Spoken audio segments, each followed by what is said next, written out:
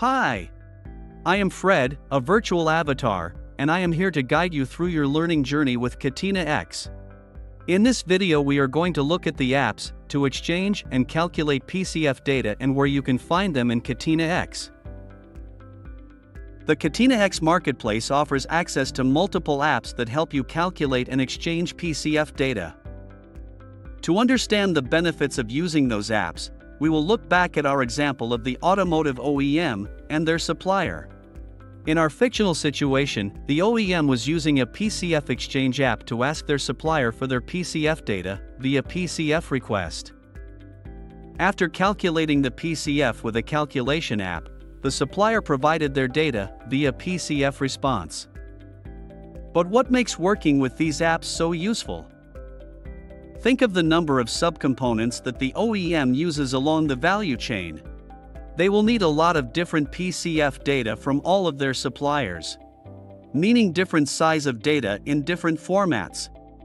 When using any apps from the Catena X marketplace, the OEM and their suppliers can ensure consistency and comparability when exchanging PCF data.